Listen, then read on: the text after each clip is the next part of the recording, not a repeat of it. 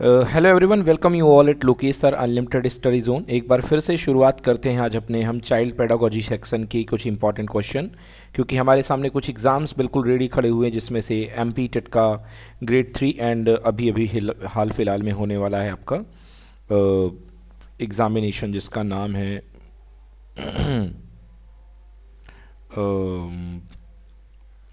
A W E S yes exact exactly हम A W S यानी army welfare education society के exam की बात कर रहे हैं। तो चलिए चाइल्ड पेडागोजी सेक्शन के यहाँ पर कुछ इंपॉर्टेंट क्वेश्चन हमारे पास में हैं, जिनको हम डिस्कस करेंगे। तो सबसे पहला क्वेश्चन लेते हैं। The least important reason for assessment in important in child centred education तो जो लीस्ट इंपॉर्टेंट रीज़न है, सबसे कम इंपॉर्टेंट रीज़न जो है चाइल्ड सेंटर्ड एजुकेशन में सबसे कम क्या है? Monitoring their progress toward goals उन लक्ष्यों और उनकी प्रगति की निगरानी करना okay the active engagement of student setting goals for their learning and growth किस, उनके अधिगम और विकास उनके अधिगम और विकास के लक्ष्य निर्धारित करने में छात्रों की सक्रिय भागीदारी। And third determining how to address any gaps किसी भी अंतराल को संबोधित करने का निर्धारण। एंड फोर्थ है मुख्य सामग्री और ज्ञान कौशल। तो इसमें सबसे बात की गई है कि ऐसा कौन सा रीज़न है जो सबसे लेस इंपॉर्टेंट है जो सबसे लेस इंपॉर्टेंट है ओके द लीस्ट इंपॉर्टेंट मतलब सबसे कम महत्वपूर्ण कारण जो है बाल केंद्रित शिक्षा में मूल्यांकन करने का। मतलब जो मूल्यांकन में सपोर्ट नहीं करेगा जो बहुत ज़्यादा ज़रूरी नहीं है मूल्यांकन के लिए। सो so, तो हमें यहाँ पर ये नहीं जानना है। जैसे यहाँ पर देखिए है monitoring their progress towards the goals तो बिल्कुल सही बात है। ये तो एक ज़रूरी बात है जिसके लिए मूल्यांकन किया जाता है। ओके छात्रों की सक्रिय भागीदारी जानने के लिए भी मूल्यांकन करना बहुत आवश्यक है। ओके एंड uh, किसी भी अंतराल को संबोधित करने का निर्धारण। ओके किसी भी अंतराल को संबोधित करने का निर्धारण। ओके okay, इसको क्या समझ सकते हैं? Determine how to address any gap मतलब कि बच्चों के सीखने में जो कमियाँ कहीं पर गैप्स आए हैं उनको में निर्धारित करना। एंड मुख्य सामग्री ज्ञान और कौशल exactly learn core content knowledge and skill तो इसकी कोई ज़रूरत नहीं है। तो यहाँ पर ये जो ऑप्शन है ये करेक्ट आंसर होगा। इसकी सबसे कम ज़रूरत है यहाँ पर। सो करेक्ट आंसर हमारा यही होगा। ओके okay, चलिए कंटिन्यू करते हैं। इसके पहले हमने जो पेपर डिस्कस किया था वो पेपर नंबर वन था। एंड गलती से उसको फिर से हम डिस्कस करने लग गए थे। तो आइए, अब हम, अब मैं, जो लोग बच्चे पुराना पेपर देखना चाहते हैं, वो प्लेलिस्ट में जा करके अपने पुराने पेपर्स देख सकते हैं। चलिए, अब आगे डिस्कस करते हैं अगला पेपर ओके तो क्वेश्चन नंबर वन है कि following is associated with the retardation in various expect of development इनमें से कौन सी चीज़ है जो विकास के विभिन्न पहलुओं में मंदता से जुड़ी हुई मतलब विकास के विभिन्न पहलुओं में जो मंदता आती है, जो रिटार्डेशन आता है, जो एक तरीके से गिरावट आती है, वो किन चीज़ों की वजह से आती है? या इसमें कौन सी चीज़ उससे एसोसिएट करती कौन सी चीज़ जुड़ी हुई है? ए है मध्यम बुद्धि और यानी कि medium intelligence then second no intelligence यानी कोई बुद्धि नहीं देन हायर इंटेलिजेंस यानी कि अधिक वाली बुद्धि, उच्च बुद्धि और लोअर इंटेलिजेंस मतलब कि मध्य बुद्धि अब देखिए, आराम से बिल्कुल आंसर समझ में आ रहा है क्लियर लोअर इंटेलिजेंस ही इसका जवाब हो सकता है। बिकॉज़ यदि हम बात करते हैं, सबसे लेस लेस प्रोग्रेस की, यहाँ पर रिटार्डेशन की बात की जा रही है तो जो मंद बुद्धिता का कंसेप्ट है, वो जुड़ा हुआ है लेस डेवलपमेंट के साथ। चलिए, अगला सवाल देखते हैं। इन चाइल्ड सेंटर्ड एजुकेशन मतलब बाल केंद्रित शिक्षा what did the child has to learn should be बाल केंद्रित शिक्षा में बच्चे को जो सीखना चाहिए वह निम्न के निम्नानुसार आंकना चाहिए। ओके okay, तो ये बहुत ही फ़ेमस क्वेश्चन है और बीएड में से सबने पढ़ा है। जज थ्रू देयर एक्टिविटीज़ उनकी गतिविधियों के माध्यम से। जज by the scores in their test result उनके परीक्षा परिणामों के अंकों से। ओके okay, ये तो बिल्कुल हो नहीं सकता ये तो कंफर्म हो गया होगा लोगों को कि ये बिल्कुल हो भी नहीं सकता है। Okay and just according to their ability interest देखिए वर्ड इंटरेस्ट आ गया और चाइल्ड सेंटर्ड एजुकेशन बाल केंद्रित शिक्षा में सबसे ज़रूरी जो बात होती है, वो इंटरेस्ट की होती है कि बच्चे का इंटरेस्ट क्या है, उसके अकॉर्डिंगली बच्चे की क्षमता क्या है, उसके अकॉर्डिंगली बच्चे की कैपेसिटी क्या है ओके योग्यता, रुचि, क्षमता ओके एबिलिटी मतलब उसके पास योग्यता है, उस चीज़ को समझ पाने की। एक्चुअली योग्यता और क्षमता लगभग लगभग एक जैसे हो जाते हैं। And previous experiences of child और बच्चे के पुराने एक्सपीरियंस के आधार पर। ओके और अगला तो इसका आंसर तो वैसे यही लग रहा है, मगर फिर भी फोर्थ ऑप्शन पढ़ लेते हैं। Just according the previous experience of child बच्चे के पिछले अनुभव के आधार पर तो इनकम्प्लीट ऑप्शन है। ये उतना ज़रूरी नहीं है, मगर सबसे बात ज़रूरी है एबिलिटी इंटरेस्ट एंड कैपेसिटी तो इसमें जो एबिलिटी इंटरेस्ट एंड कैपेसिटी की बात कही गई है, उसके आधार पर हम ये कह सकते हैं कि इसका आंसर थर्ड है और है भी। चलिए, अगला क्वेश्चन देखते हैं। Child centred education typically involves बाल केंद्र शिक्षा आमतौर पर निम्न शामिल होता है। ऑन आ स्पॉट असेसमेंट तुरंत मौके पर मूल्यांकन ओके स्पॉट असेसमेंट इसमें शामिल हुआ करता है। नो असेसमेंट कोई मूल्यांकन नहीं। मैं बिल्कुल एग्री नहीं हूँ, ऐसा बिल्कुल नहीं कि मूल्यांकन नहीं होगा। मोर सबमिटिव असेसमेंट अधिक युगात्मक मूल्यांकन नहीं, बिल्कुल नहीं। युगात्मक मूल्यांकन का मतलब ये होता है जो सत्र के एंड में होते हैं, सत्र के एंड में जो मूल्यांकन होते हैं, जिसको आप ऐसे ही बोलते हैं सबमिटिव असेसमेंट वो हुआ करते हैं तो वो बिल्कुल बच्चों के लिए बिल्कुल फेवरेबल नहीं है। ओके एंड देन लास्ट है मोर फॉर्मेटिव असेसमेंट जी हाँ तो रचनात्मक मूल्यांकन को सपोर्ट करूँगा मैं तो मेरे हिसाब से ये सही होना चाहिए। चलिए देखते हैं आंसर क्या है। और बिल्कुल सही, रचनात्मक मूल्यांकन ही बिल्कुल सही जवाब है। फॉर्मेटिव असेसमेंट ज़्यादा होने पढ़ते हैं और याद रखिएगा फॉर्मेटिव असेसमेंट एंड में नहीं होते हैं। ये शिक्षण अधिगम यानी टीचिंग लर्निंग प्रोसेस के दौरान में कभी भी हो सकते हैं। एक क्लास में आप बच्चे को पढ़ा रहे हो, एकदम से बच्चे को आपने उठा करके पूछा, क्यों बेटा? बताओ, भारत की कैपिटल क्या इंडिया की कैपिटल क्या है? तो वो दिल्ली बोलेगा तो ये भी फॉर्मेटिव असेसमेंट में भी आएगा, जिसको अपन लोग क्या बोलते हैं? एफ़ आजकल बच्चे बोलते हैं एफए चल रहे हैं F A means formative assessment चलिए। अगली बात है प्रगतिशील शिक्षा, यानी कि जॉन डुई की एजुकेशन की बात कर दी गई यहाँ पे। Okay which of the following is the feature of progressive education इसमें से प्रोग्रेसिव एजुकेशन का कौन सा फीचर है? पहला instruction base solely on the prescribe text book मतलब कि इंस्ट्रक्शन जो होंगे वो निर्दिष्ट पाठ्य पुस्तकों के आधार पे ही दिए जाएँगे। इंस्ट्रक्शन मतलब जो उसको पढ़ाना है, निर्देश देने हैं। Then flexibility on the topics that student would like to learn उन बच्चों को नम्यता दी जाएगी जो बच्चे सीखना चाहते हैं, उन विषयों पर फ्लेक्सिबल होगा system okay and emphasise on life long learning and social skill emphasise on life long learning and social skill जीवन पर्यंत अधिगम और सामाजिक कौशल पर ज़ोर देना। Okay and emphasis of scoring good marks in the examination देखो भाई किसी भी प्रकार की शिक्षा का उद्देश्य जो है परीक्षा पर ज़ोर देना परीक्षा में अंकों पर लाना नहीं है। ओके okay, मगर जॉन डीवी जो प्रगतिशील शिक्षा लाए थे वो बच्चों के लिए लाए थे कि ऐसा एजुकेशन जो नाम ही क्या प्रोग्रेसिव प्रोग्रेसिव मतलब आज से लेकर के अंत तक कायम रहे। ओके okay, मतलब जो बच्चे की लाइफ लॉन्ग काम में आए okay so emphasise on life long learning तो इसका आंसर थ्री होना चाहिए लेट सी द आंसर बिल्कुल सही है emphasise on the life long learning यानी कि जीवन पर्यंत अधिगम और सामाजिक कौशल पर ज़ोर दिया करता था ये एजुकेशन चलिए नेक्स्ट अगला.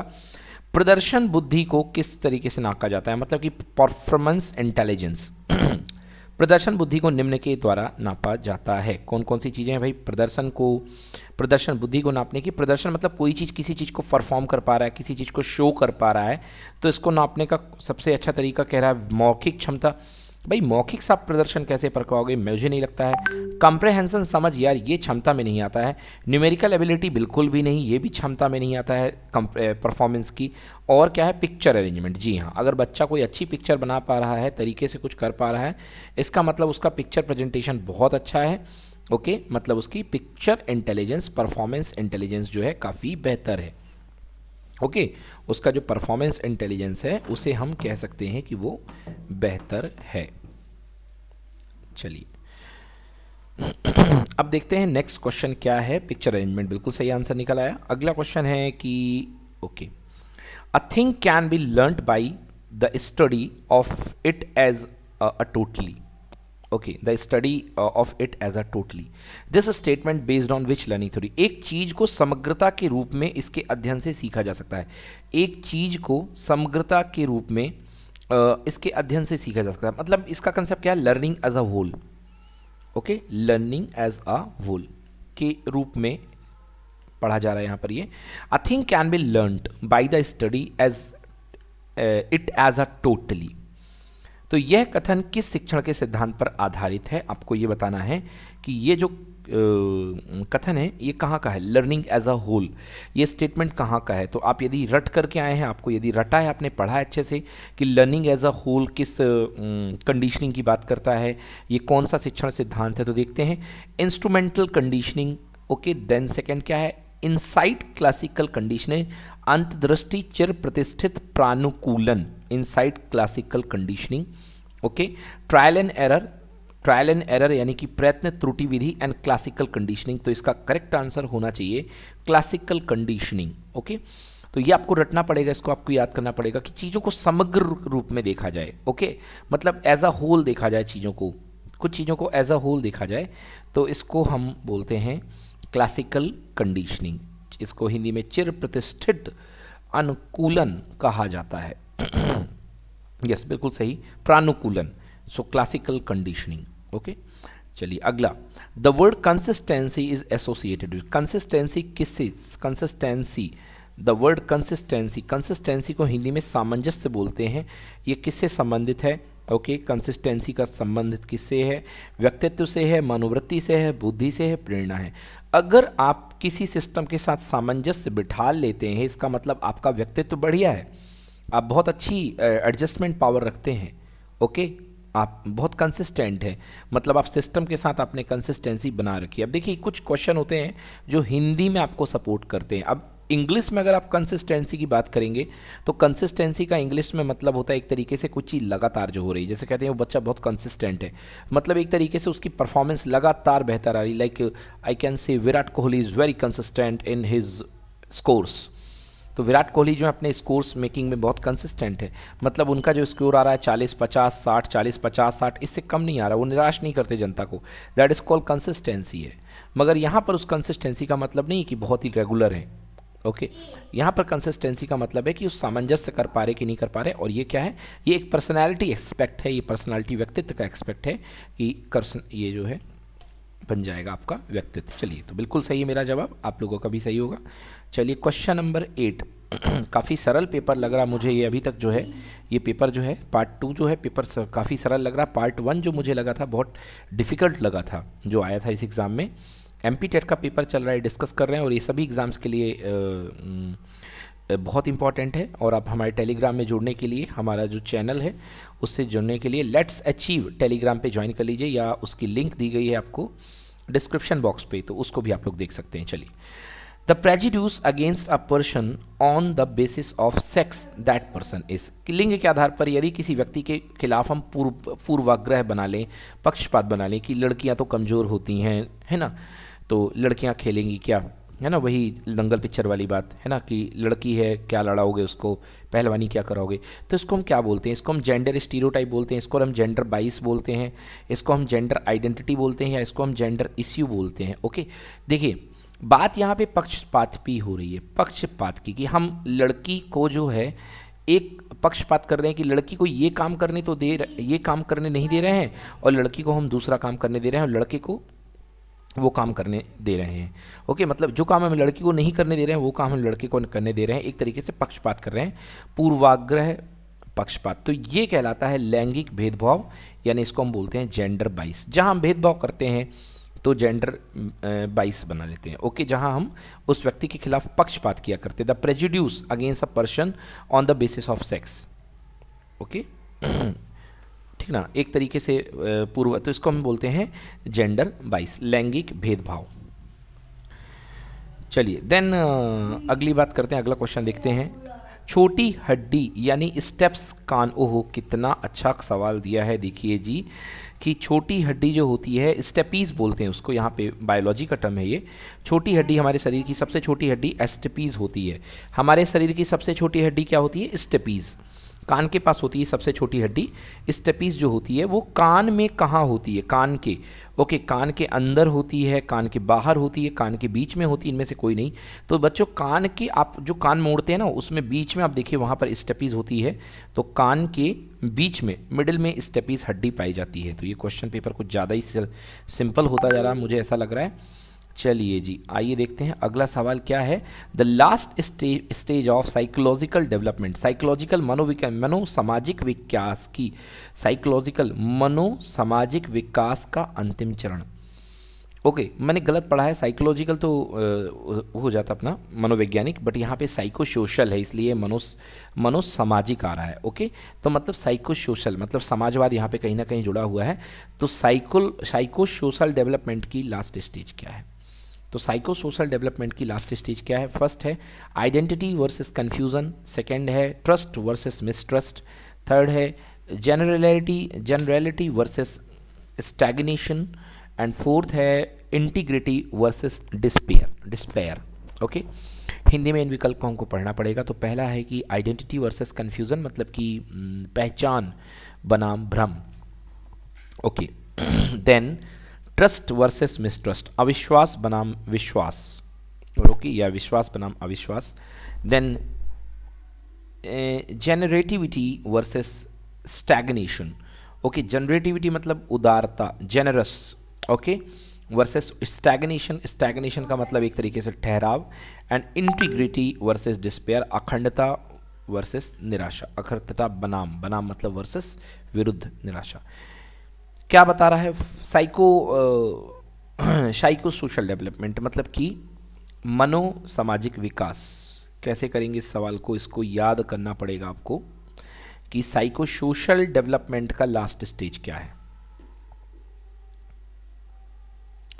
तो मुझे इसका आंसर नहीं आता है, मैं इसके आंसर को देखना चाहूँगा। ठीक है ना? पहचान बनाम भ्रम है, विश्वास बनाम अविश्वास है। एक बार तुक्का मार करके देखते हैं कि तुक्के में क्या होता है इसका आंसर ट्रस्ट वर्सेस मिसट्रस्ट उदारता बनाम ठहराव अखंडता बनाम निराशा साइको सोशल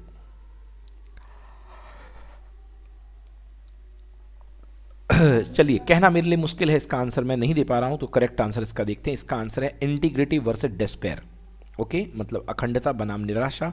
तो याद करिए, ये एक रट्टा क्वेश्चन है, इसका आंसर है, आपको याद करना पड़ेगा। चलिए अगला, the study of same children over a period of time is known as कौन सी स्टडी कहलाता है एक निर्धारित समय की अवधि के समान बच्चों के अध्ययन को कौन से अध्ययन के रूप में जाना जाता है मतलब एक निर्धारित समय की अवधि के लिए समान, the study of same children over period of time मतलब कि आप जो है, कुछ बच्चों पर एनालिसिस कर रहे हैं, ओके okay? कुछ बच्चों पर आप एक ही चीज़ का एनालिसिस कर रहे हैं ओके और कुछ दिए गए समय में आप अध्ययन कर रहे हैं।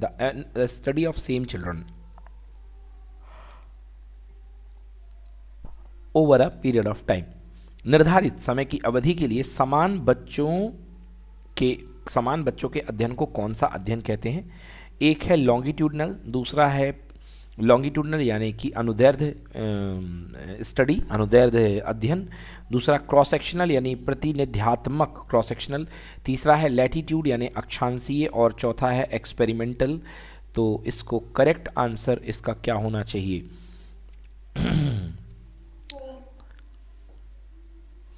देखिए, आप जो है, आपके पास ग्रुप ऑफ़ स्टूडेंट हैं, वो बिल्कुल सेम बने हुए हैं। इस चीज़ को यहाँ पे ध्यान रखिए कि आप इन्हीं बच्चों में इन्हीं बच्चों पे आप जो भी अध्ययन कर रहे हैं, वो इन्हीं बच्चों पे अध्ययन कर रहे हैं, ओके? समय की अवधि है, समान बच्चे हैं। मतलब आपने कोई टेस्ट ए लगाया तो इन चारों पे लगाया, और फिर आपने कोई टेस्ट बी लगाया तो आपने इन चारों पे ही कोई टेस्ट लगाया है। तो इस प्रकार के अध्ययन को हम बोलते हैं अनुदैर्थ यानी कि लॉन्गिट्यूडनल स्टडी ये अध्ययन बिल्कुल सही है तो अध्ययन क्या कहलाएगा? लॉन्गिट्यूडनल स्टडी लॉन्गिट्यूडनल अध्ययन या अनुदैर्थ अध्ययन। चलिए नेक्स्ट क्वेश्चन नंबर ट्वेल्व देखते हैं। Which of the following is limitation of electric counselling approach अब देखिए, अब क्वेश्चन डिफ़िकल्ट होता जा रहा है पेपर अभी तक तो ईजी लग रहा था, अभी डिफ़िकल्ट लग रहा है। क्वेश्चन आड़े तिरछे आ रहे हैं। Which of the following is the limitation of elective counselling approach निम्न में से कौन सी ग्रहणशील परामर्श दृष्टिकोण इलेक्टिव काउंसिल अप्रोच ग्रहणशील परामर्श दृष्टिकोण की सीमा है। निम्न में से कौन सी ग्रहणशील परामर्श दृष्टिकोण इलेक्टिव काउंसलिंग अप्रोच तो एक प्रकार की ये काउंसलिंग अप्रोच है, जिसको हम इलेक्टिव इक्लेक्टिक सॉरी यहाँ पे इक्लेक्टिक लिखा हुआ है। इक्लेक्टिव काउंसलिंग अप्रोच बोलते हैं। इसमें स्पेलिंग में भी देखिए, मैंने इलेक्टिव बोला, उसको इक्लेक्टिव कर लीजिए। तो इसमें कौन सा है आपको बताना है? फ़र्स्ट है requires highly skilled counsellors to handle dynamic feature of this counselling approach इस परामर्श दृष्टिकोण की गत्यात्मक विशेषता को नियंत्रित करने के लिए अधिक कुशल परामर्शदाताओं की आवश्यकता होती है। ओके? इक्लेक्टिक में अच्छे परामर्शदाताओं की आवश्यकता होती है।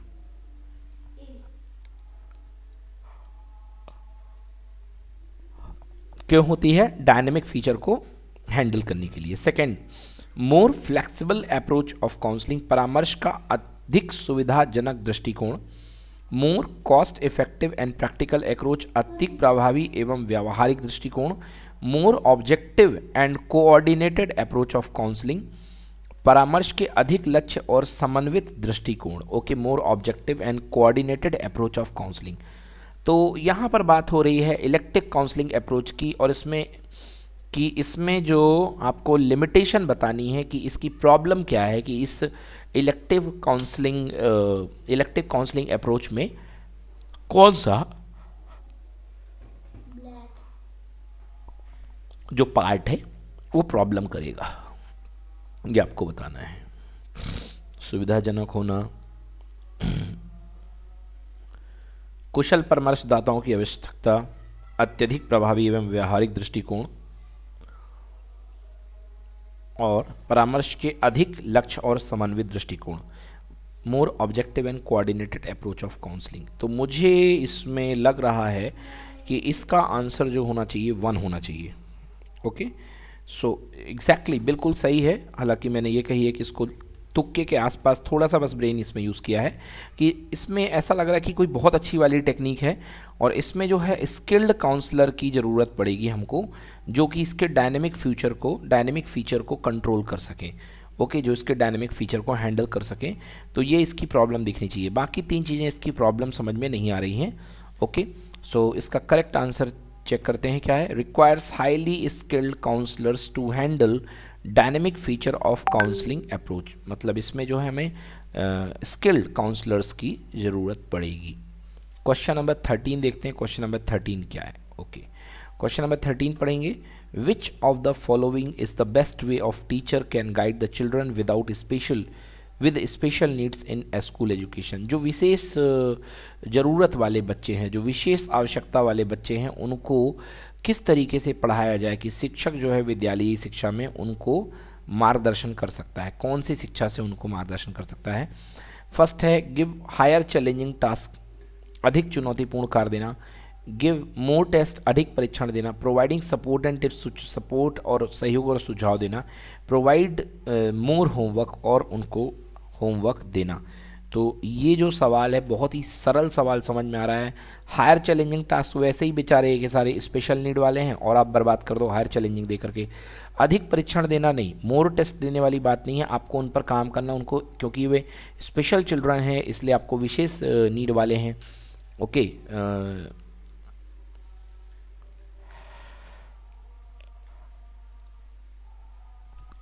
स्पेशल नीड वाले हैं, इसलिए आपको क्या करना पड़ेगा? इनको provides provide support and tips yes बिल्कुल सही अपना answer providing support and tips next question question number fourteen question number fourteen है which of the following is an example of lower order need in Maslow which of the following is an example of lower order need in Maslow ठीक है ना? Lower order need in Maslow which of the following is an example of lower order need in Maslow? Hierarchy needs. Okay. Uh, इसमें मतलब Maslow की कोई hierarchy needs है कि Maslow की कोई ज़रूरत है उनके पदानुक्रम डेवलप किए गए हैं उसमें से आपको बताना है कि इसमें निचले लेवल की मांग कौन सी है। ओके निम्न में से कौन सा मास्लो की आवश्यकताओं के पदानुक्रम में निम्नतम आवश्यकता को एक उदाहरण है? ओके?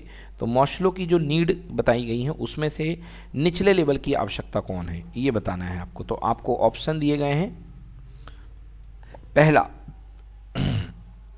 निचले लेवल की आवश्यकता मतलब कि उतना ज़्यादा वो ऊपर नहीं आती है नीड्स में, कि बहुत ज़्यादा ज़रूरत है इसका। पहला है सम्मान की आवश्यकता, सेल्फ एक्चुअलाइजेशन आत्मबोध की आवश्यकता सेफ्टी नीड्स सुरक्षा की आवश्यकता लव एंड बिलोंगिंग्स नीड्स मतलब प्यार व अपनेपन की आवश्यकताएँ। अगर आपने मौसलों की आवश्यकताओं का पदानुक्रम पढ़ा है तो आपसे ये क्वेश्चन बन जाएगा, अगर आपने मौसलों की थ्योरी पढ़ करके आए हैं कि मौसलों की थ्योरी क्या थी। तो जो मौसलों की थ्योरी थी, वो क्या कहती है कि सम्मान की आवश्यकता, आत्मबोध, सुरक्षा और प्यार व अपनेपन की। तो देखिए, मौसलों की थ्योरी उतनी बेहतर मुझे भी नहीं आती है बट यदि मैं यहाँ पर एज ए एजुकेटर बात करूँ कि एजुकेटर बात करूँ कि साइकोलॉजिकली देखिए, मेरे को यदि एक बच्चे की बात करूँ तो सम्मान कहीं ना कहीं आता है, आत्मबोध कहीं ना कहीं आता है प्यार व अपनापन आता है बट सुरक्षा की आवश्यकता मुझे इन द केस सही नहीं लग रहा है ओके सुरक्षा की बात यहाँ पर, क्योंकि मनोविज्ञान से जुड़ी हुई बात है तो बिल्कुल सही आंसर है, सबसे निचले में आता है सेफ्टी नीड्स मतलब सुरक्षा की आवश्यकता। चलिए क्वेश्चन नंबर 15 की बात करते हैं। हाफ़ क्वेश्चन पे आ चुके हैं। क्वेश्चन नंबर 15 क्या है? Which among the following types of intelligence would be the most use when trying to navigate through traffic okay जब यातायात के माध्यम से नेविगेट करने की कोशिश करते समय क्या किया जाएगा? मतलब कि आप स्कूटर चला रहे हैं तो इसमें से आपको कौन सी बुद्धि का इस्तेमाल करना पड़ेगा? आप स्कूटर से एक मोहल्ले से दूसरे मोहल्ले जा रहे हैं तो इसमें से आपको कौन सी बुद्धि का इस्तेमाल करना पड़ेगा? प्राकृतिकवादी बुद्धि, यानी कि naturalist intelligence spatial sorry spatial नहीं लिखा है स्पैटियल इंटेलिजेंस मतलब स्थानीय बुद्धि, अंतर्व्यक्तिक बुद्धि interpersonal intelligence and emotional intelligence मतलब कि भावनात्मक बुद्धि, आपको कौन सी बुद्धि स्थान करनी पड़ेगी। भैया, देखिए इमोशनल का तो कोई रोल नहीं है, बिल्कुल कट गया। अंतर्व्यक्तिक कोई दूसरे आदमी से आप नहीं मिल रहे हो कि अंतर्व्यक्तिक यहाँ पे इंटरपर्सनल आप अपने एस्पेक्ट ओपन करोगे। बात करती है नेचुरलास्टिक और दूसरा है स्पैटिकल यानी स्थानीय बुद्धि। तो क्या होना चाहिए? इसका आंसर सोचिए जरा सा। इसका आंसर होना चाहिए टू स्थानीय बुद्धि ओके बिल्कुल सही जवाब है। स्थानिक बुद्धि होना चाहिए। मुझे लग रहा है चलिए देखते हैं। एग्जैक्टली exactly, बिल्कुल सही जवाब है। स्पैटियल इंटेलिजेंस जो है वो डिसाइड करवाती है कि आप किस रास्ते पे जाते हैं। स्थानिक बुद्धि की आपको जानकारी कितनी है। चलिए अगला question a child receive a star for every correct mark every correct answer she gets अगर एक बच्ची है कोई बच्ची है उसको सही उत्तर के लिए एक स्टार मिलता है। ओके okay, किस सुदृढ़ीकरण what reinforcement schedule is being used उस बच्चे के लिए कौन सा रिफोर री इन्फोर्समेंट आप यूज़ कर रहे हैं? क्योंकि सही करती है उत्तर में तो उसको आप एक स्टार दे देते हो। तो इसमें से आपको बताना है कि वैन वॉट री इन्फोर्मेंट शेड्यूल बींग यूज़ मतलब कि सुदृढ़ीकरण अनुसूची का कौन सा इस्तेमाल कर रहे हो? चलिए। अगला। फ़र्स्ट है option variable ratio reinforcement schedule यानी कि परिवर्तनीय अनुपात सुदृढ़ीकरण अनुसूची। दूसरा है इंटरमीडियंट रीइंफोर्समेंट शेड्यूल मतलब अंतरायिक सुदृढ़ीकरण अनुसूची। पार्शियल रीइंफोर्समेंट मतलब आंशिक एंड फिक्स रेशियो रीइंफोर्समेंट मतलब कि निश्चित अनुपात सुदृढ़ीकरण अनुसूची। तो भाई देखिए बिल्कुल क्लियर है कि कुछ भी करोगे तुमको एक ही स्टार मिलेगा दो स्टार नहीं मिलेंगे तो मुझे लग रहा है इसका आंसर फोर होना चाहिए फिक्स रेशियो री मतलब कि निश्चित अनुपात सुदृढ़ अनुसूची का इस्तेमाल किया जा रहा है यहाँ पर ओके यहाँ पर एक फिक्स रेशियो री शेड्यूल का इस्तेमाल किया जा रहा है। चलिए आंसर देखते हैं। बिल्कुल सही है। फिक्स रेशियो री शेड्यूल तो इसमें भी मिलते हैं आपको एक मार्क्स अगला सवाल करते हैं कि आ, one of the characteristics feature of the constructivist construct मतलब रचनात्मक रचनावादी जो है constructivist unit of study is मतलब कि आपको एक तरीके से रचनात्मकता का सिद्धांत जो है, या जो रचनावादी लोग हैं, वो कौन सा एक इसकी विशेषता मानते हैं? One of the characteristics feature of an constructivist constructivist unit of study unit of study एक रचनात्मकतावाद इकाई की विशेषता। अध्ययन की एक रचनात्मकतावाद इकाई की विशेषता यह है कि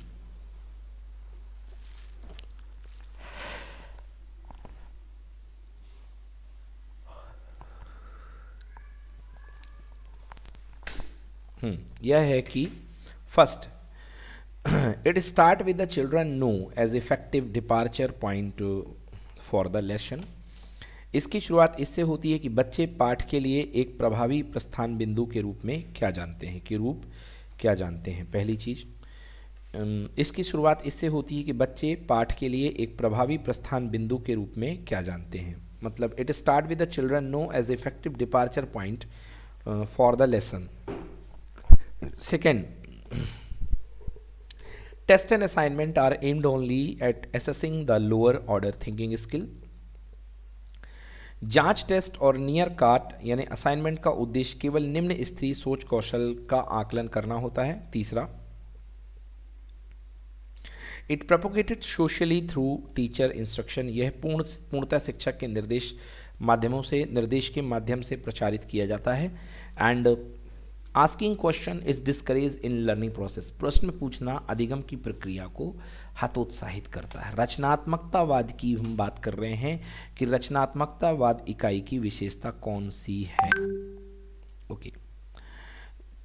रचनात्मकतावाद मतलब कि constructivist unit of study one of the characteristics feature आपको कंस्ट्रक्टिविस्ट यूनिट ऑफ़ स्टडी रचनात्मकतावाद इकाई अध्ययन की रचनात्मकतावाद इकाई की एक विशेषताएँ बतानी है।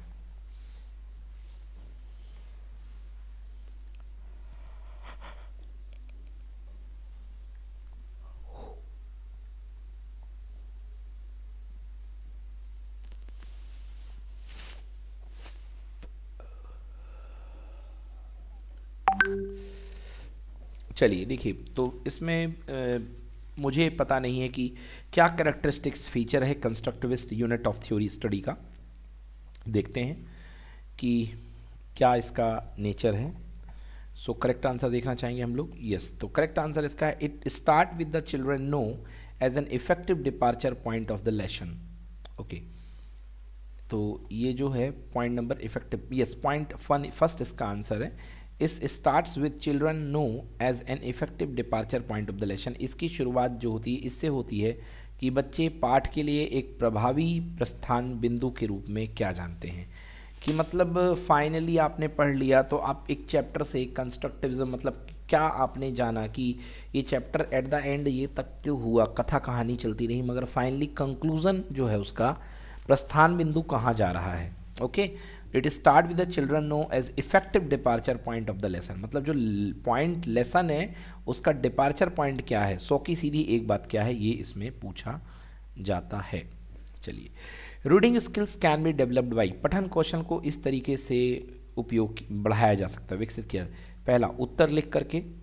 वर्ड गेम खेल करके क्विज करके focusing on the word on the text पाठ में शब्दों का उपयोग शब्दों के उपयोग पर ध्यान केंद्रित करके एंड शब्दावली डूइंग वैकाबलरी एक्सरसाइज मैंने शब्दावली को अभ्यास करके। चलिए, बताइए कि सबसे बढ़िया तरीके से आप जो है रीडिंग स्किल को कैसे आप बढ़िया तरीके से बढ़ा सकते हैं रीडिंग स्किल को।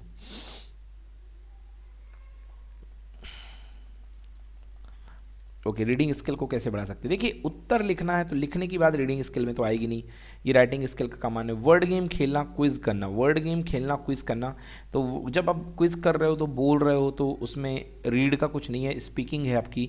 तो ये भी ज़्यादातर मेरे को बेहतर समझ में नहीं आ रहा। है डूइंग वोकेबलरी एक्सरसाइज तो एक ये भी सही है and focusing on the word text ये भी सही है। तो वर्ड को फोकस करना, क्योंकि आप रीडिंग की बात कर रहे हो रीडिंग में जो है आपको बोलना स्पष्ट आना चाहिए, उनके प्रोनाउंसिएशन बाहर बिल्कुल सही होने चाहिए, और आप तभी कर पाओगे जब आपका ध्यान जो होगा पाठ के शब्दों पर केंद्रित रहेगा। तो थ्री और फोर में से मुझे करेक्ट आंसर थ्री लग रहा है। Let see so answer correct है focusing on the word we use on the text exactly चलिए नेक्स्ट क्वेश्चन की बात करते हैं। अगला क्वेश्चन है कि असमर्थता irrespective of the kind of impairment all children is capable of किसी भी असमर्थता के बावजूद बच्चे निम्न में सक्षम होते हैं। चलने में, सुनने में लर्निंग करने में, देखने में, सीखने में। तो भाई, बिल्कुल समझ में आ रहा है, बिल्कुल फोकट वाला क्वेश्चन है। एक नंबर, हर कोई लूट के ले गया होगा, इसमें आंसर है लर्निंग भाई, अंधा भी सीखता है है ना? कोई भी बच्चा कैसा भी हो, उसमें, उसके साथ कैसी भी डिसेबिलिटी हो बट उसका दिमाग काम करता है तो वो क्या होता है? सीखता है ओके चलिए नेक्स्ट क्वेश्चन है question number twenty question number twenty है what are inborn pattern in the behaviour of that are biological determined also called okay मतलब कि व्यवहार के जन्मजात पैटर्न जो जीव विज्ञान के अनुसार निर्धारित होते हैं उन्हें क्या कहा जाता है? व्यवहार के जन्मजात पैटर्न मतलब बच्चे के अंदर जो व्यवहार के जन्मजात पैटर्न होते हैं जो उसके आ, उसके अनुवंशिकी से उसके अंदर आते जाते हैं ओके वो जन्मजात पैटर्न क्या कहा जाता है? जो जीव विज्ञान के अनुसार निर्धारित होते हैं उनको क्या कहते हैं? आईडी पहचान ड्राइव ओके इंस्ट्रक्शन इंस्टिंक्ट सहज ज्ञान एंड इंटेलिजेंस बुद्धिमत्ता तो जन्मजात पैटर्न जो होते हैं वो क्या कहलाते हैं?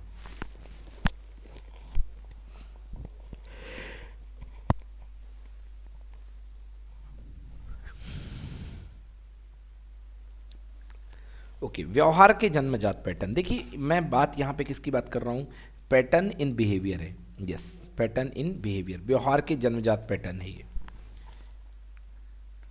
ये क्या कहलाएँगे? व्यवहार के जन्मजात पैटर्न क्या कहलाएँगे? The inborn patterns of behaviour inborn patterns of behaviour तो बिहेवियर के इनबॉर्न पैटर्न्स क्या कहलाएँगे? आईडी ड्राइव्स इंस्टिंक्ट्स और you can say intelligence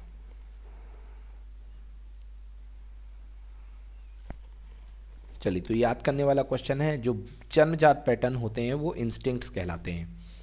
question number twenty one करेंगे। क्वेश्चन नंबर ट्वेंटी वन क्या कह रहा है? What are the symptoms of the post traumatic stress disorder in children post traumatic stress disorder आघात, तनाव, विकार के लक्षण क्या हैं?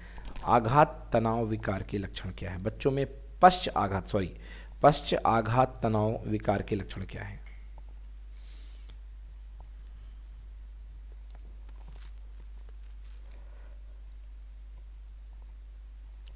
Okay what are the symptoms of post traumatic stress disorder in children first avoiding places और people associated with the event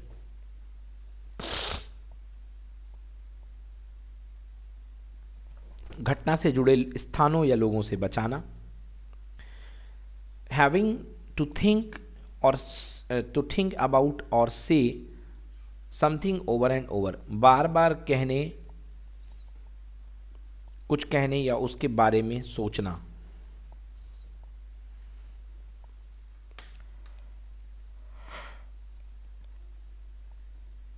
third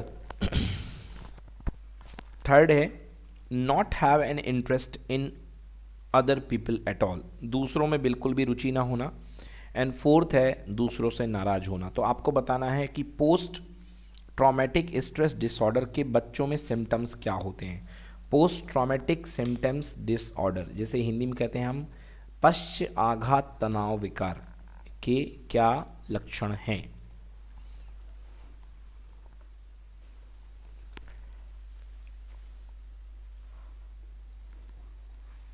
okay तो एक तरीके का डिसऑर्डर है, इसकी जानकारी देखते हैं क्या होगा इसका आंसर मुझे नहीं पता इसका आंसर क्या है।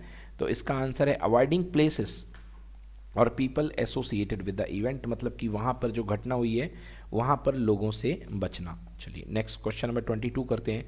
What type of theory is one that proposes that development depend on the things that are inherited through genes तो इसमें से कौन सा सिद्धांत ये प्रस्तुत करता है कि विकास उन चीज़ों पर निर्भर करता है जो जीन के माध्यम से वंशानुगत है? मतलब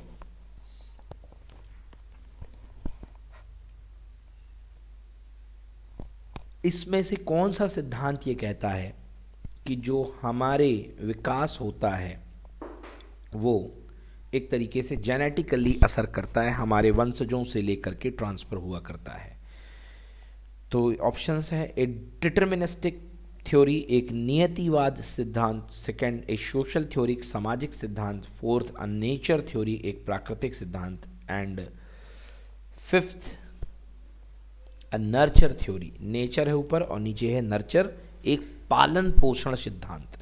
तो कौन सा सिद्धांत कहता है कि विकास उन चीज़ों पर निर्भर करता है जो जीन के माध्यम से वंशागत हैं?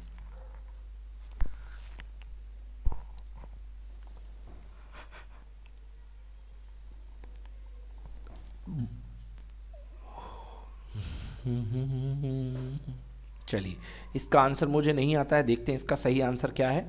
तो इसका आंसर है इसका आंसर है एक प्राकृतिक सिद्धांत मतलब कि एक नेचुरल नेचर थ्योरी लिख लीजिए।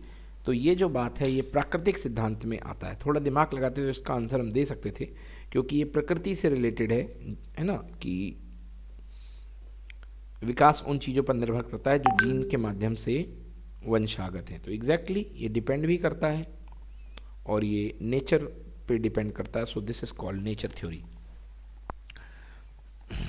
next question what type of thinking associated with creativity creativity का मतलब क्या है? बहुत ही फ़ेमस क्वेश्चन है भाई। क्रिएटिविटी का मतलब होता है बच्चे का एक ही चीज़ को कई तरीके से सोचना ओके तो कन्वर्जेंट अभी सारी बिल्कुल नहीं है। डाइवर्जेंट थिंकिंग बिल्कुल सही है ओके इनसाइटफुल थिंकिंग अंतर्दृष्टि सोच, ये भी नहीं मानूँगा मैं। एंड ट्रांसडक्टिव यानी पारमर्थिक सोच। ओके ट्रांसडक्टिव थिंकिंग तो करेक्ट इसका आंसर क्या है? इसका करेक्ट आंसर है, इसका करेक्ट आंसर है, होना चाहिए डाइवर्जेंट थिंकिंग तो कहीं पर भी आपकी जो क्रिएटिविटी की बात होती है तो वहाँ पर डाइवर्जेंट थिंकिंग की बात होनी चाहिए और बिल्कुल भी जवाब भी हमारा बिल्कुल सही है। चलिए नेक्स्ट क्वेश्चन की बात करते हैं, अगला क्वेश्चन कि वो introduce the theory universal grammar language in development okay वो introduce the theory of universal grammar in language और इन लैंग्वेज डेवलपमेंट भाषा के विकास में यूनिवर्सल ग्रामर के सिद्धांत को किसने पेश किया था? लीजिए भाई, भाषाई का विकास आ गया है तो भाषा के विकास में यूनिवर्सल ग्रामर लैंग्वेज तो ये एक रटने वाला क्वेश्चन है, आप लोगों ने यदि याद किया है तो याद होगा आप लोगों को कि थ्योरी ऑफ़ यूनिवर्सल ग्रामर किसने डेवलप की थी? लैंग्वेज के डेवलपमेंट में। तो पियाजे ने नहीं की थी वाइगोत्सकी ने नहीं की थी स्किनर ने नहीं करी थी चॉम्स्की ने ऐड की थी grammatical development grammar in language development okay theory of universal grammar तो करेक्ट आंसर इसका बिल्कुल सही चॉम्स्की ही है। चलिए नेक्स्ट क्वेश्चन अगला क्वेश्चन है intelligence is a product of both this and environment बुद्धिमत्ता जो है, किन चीज़ों का एक प्रोडक्ट है। किन चीज़ों का उत्पाद है? दोनों को बुद्धिमत्ता मतलब इंटेलिजेंस आपके अंदर जो आती है, वो किसका उत्पाद है? इन्वायरमेंट का तो है ही मतलब कि आपके वातावरण का तो है ही। साथ ही साथ किसका है? ऑप्शंस हैं संस्कृति, समुदाय, आनुवंशिकता और समाज। ओके संस्कृति, समुदाय अनुवंशिकता एंड समाज। Intelligence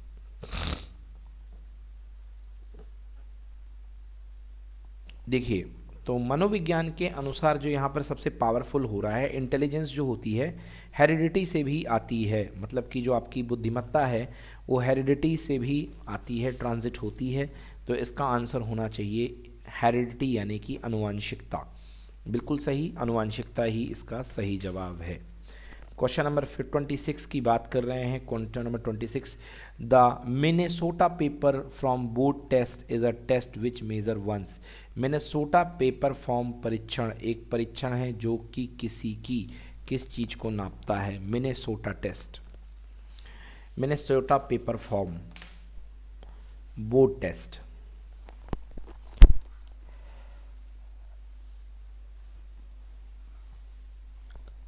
Minnesota paper form board test किस चीज़ को नापता है? ऑप्शन वर्बल रीजनिंग योग्यता व्यक्तित्व अंग्रेज़ी कौशल।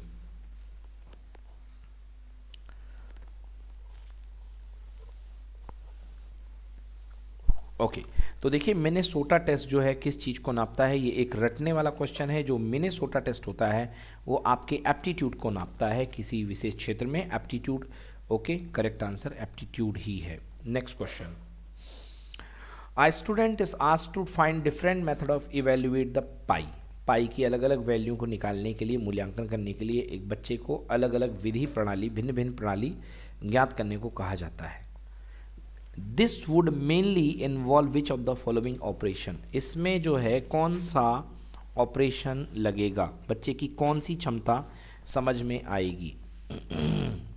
चलिए तो देखिए, यहाँ पर एक ही प्रॉब्लम है और एक ही प्रॉब्लम को अलग अलग तरीके से बात की गई है। तो साफ़ दिख रहा है यहाँ पर डाइवर्जेंट थिंकिंग की बात हो रही है तो इसका आंसर सी होना चाहिए। अब सारी चिंतन बिल्कुल सही जवाब है। बहुत अच्छा क्वेश्चन है, ऐसे क्वेश्चन आने चाहिए और आते भी हैं। ओके तो ये है अब सारी चिंतन। Next question classical conditioning was developed by classical conditioning was developed by classical conditioning जो है, प्रानुकूलन या शास्त्रीय अनुबंधन इनमें से किसके द्वारा विकसित किया गया है?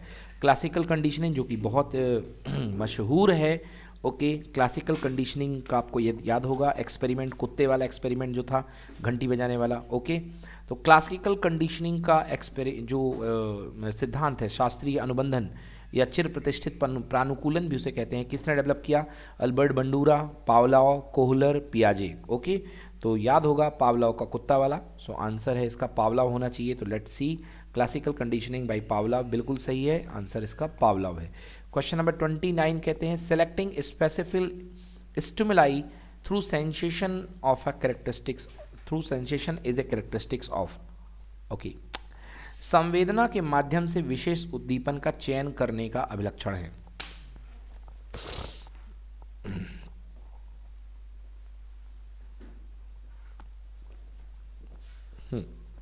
Selecting specific stimuli okay selecting specific stimuli through sensation is a characteristics of संवेदना के माध्यम से विशिष्ट उद्दीपन को चयन करने का अभिलक्षण है पहला अटेंशन दूसरा क्रिटिकल थिंकिंग गहन चिंतन तीसरा कंसेप्ट एंड फिर है बोध यानी कि परसेप्शन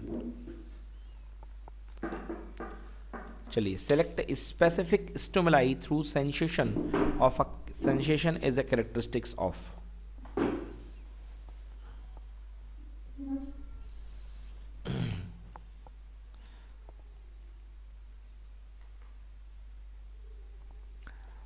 संवेदा के संवेदना के माध्यम से विशिष्ट उद्दीपन का चयन करने का अभिलक्षण। संवेदना के माध्यम से विशिष्ट उद्दीपन के चयन करने का अभिलक्षण क्या कहलाता है? तो देखना पड़ेगा, इसकी जानकारी मुझे नहीं है। सो इसका करेक्ट आंसर है परसेप्शन यानी कि बोध। ऐसे क्वेश्चंस को लिख लीजिए। अदरवाइज़ इसमें ज़ीरो मिल जाएगा। ये थोड़े से रटने वाले कहीं ना कहीं क्वेश्चन है। ओके तो संवेदना के माध्यम से विशिष्ट उद्दीपन का चयन करने का अभिलक्षण जो है बोध कहलाता है। लास्ट क्वेश्चन देखेंगे question number thirty animism is the belief that everything that exist has some kind of consciousness okay which of the following does not describe the idea of animism in the children of the pre operational stage of development सर्वात्मवाद यह विश्वास है कि जो भी कुछ मौजूद है, उसमें किसी प्रकार की चेतना है। निम्नलिखित में, क्या विकास के पूर्व परिचालन स्तर पर बच्चों में सर्वात्मक माद के विचार का वर्णन नहीं करता? इसमें से कौन सा स्टेटमेंट है जो एनिमिज्म का सपोर्ट नहीं करता है? Okay does not describe the idea of animism आपके सामने कुछ स्टेट दे रहे हैं, उसमें से कौन सा चीज़ है जो सर्वात्मवाद के बारे में सपोर्ट नहीं करता है? ओके ठीक है ना? सर्वात्मवाद क्या कहता है? सर्वात्मवाद कहता है कि जो भी कुछ दुनिया में है, उसमें कुछ ना कुछ एक तरीके से चेतना है। उसमें किसी ना किसी प्रकार की कॉन्सियस कॉन्सियसनेस है। ओके अनकॉन्सियस नहीं है वो चीज़, वो चीज़ें कॉन्सियस हैं तो उनमें एक प्रकार की कॉन्सियसनेस मौजूद है। चलिए तो देखिए, इसमें से कौन सा है जो सर्वात्मवाद का विचार नहीं है? आपको बताना है। Yes A child who hurts his leg while colliding against a chair will happily smack the naughty chair. एक बच्चा जो कुर्सी को टकराते हुए अपने पैर को चोट पहुंचाता है और खुशी से शरारती कुर्सी को धकेल देता है तो ये तो बिल्कुल यहाँ पे सर्वात्मवाद डेवलप हो रहा है। मतलब वो सोचता है कि कुर्सी ने मेरे को मारा। ओके सेकेंड फैंसी ड्रेस प्रतियोगिता के लिए एक बच्चा फायरमैन के लिए तैयार होता है। A child dress up fireman uh, for a fancy dress competition. Next, a high mountain will be as old एक ऊँचे पर्वत को पुराना माना जाए। ठीक है? And a car won't start will be a described being tired or ill एक कार जिसे नहीं स्टार्ट किया जा रहा है, उसे थका हुआ या बीमार बताया जाए। तो यहाँ पर एक तरीके का आपको खुद लगाना है, दिमाग लगाइए कि जो कुछ भी मौजूद है, उसमें किसी प्रकार की चेतना मौजूद है। कहीं ना कहीं से रिलेट करिए। और इसमें आपको बताना है कि कौन सा सर्वात्मवाद को शो नहीं करता है। तो पहला वाला तो शो करता है, दूसरा वाला जो ऊँचा पर्वत है, उसे पुराना माना जा रहा है कि बहुत पुराना है। ओके मतलब ये पहले से ही ज़िंदा रहता है, पहले से ही रहा होगा। तो ये भी मुझे लग रहा है सर्वात्मवाद में है। और यहाँ भी इस कार को जो स्टार्ट नहीं की गई है उसमें परिकल्पना की गई है एक व्यक्ति की कि वो बहुत थका हुआ है। बट फायरमैन में ऐसी कोई चीज़ नहीं है तो इसका आंसर जहाँ तक पॉइंट नंबर टू होना चाहिए। एग्जैक्टली पॉइंट नंबर टू ही इसका आंसर है। ओके okay, दोस्तों तो ये थे आज हमारे पैडागोजी सेक्शन के तीस क्वेश्चंस और हमारे चैनल को जिसका नाम है टेलीग्राम पे लेट्स अचीव उसको आप लोग जल्दी से सब्सक्राइब कर लीजिए, उसको ज्वाइन कर लीजिए इसकी लिंक हम डिस्क्रिप्शन में आपको दे रहे हैं। ओके तो ये पैडागोजी के भी चल रहे हैं और ये हमारे जो टॉपिक जो मैंने आपको बताया ए डब्ल्यू एस एग्ज़ाम के लिए एंड स्पेशली ग्रेड थ्री के एग्ज़ाम के लिए बहुत ज़्यादा इंपॉर्टेंट है। इनकी तैयारी आप लोग अच्छे से करिए और इस तरीके के क्वेश्चन आएँगे। पेडागोजिकल सेक्शन जो है, दो पार्ट दो तरीके का होता है। एक तो आपको याद करना पड़ता है, उस पर कोई आपकी हेल्प नहीं कर सकता है और एक जिसके आप कंसेप्ट बना सकते हैं। कोई कितना भी कुछ कहे, जहाँ याद करने वाली बात है, वहाँ पे कंसेप्ट आपके काम में नहीं करेंगे। जैसे पावलाव की theory classical conditioning theory Pavlov की है तो पावलाव की रहेगी, आपको याद करनी पड़ेगी। ओके और बाकी पढ़ते रहिए। चलिए बहुत बहुत धन्यवाद, नमस्कार।